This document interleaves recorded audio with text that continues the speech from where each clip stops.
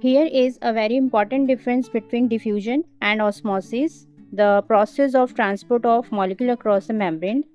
The first point is it is a movement of molecules of all materials, solid, liquid and gas from a region of higher concentration to a region of lower concentration.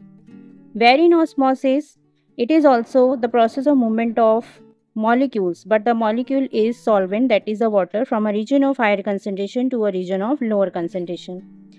It can occur both in air and water. It can occur only in the liquid medium. It can take place with or without the semi-permeable membrane but uh, osmosis needs a semi-permeable membrane. The fourth difference is it uh, equalizes the concentration of uh, the diffusible material across the medium but it doesn't equalize the concentration of solvent.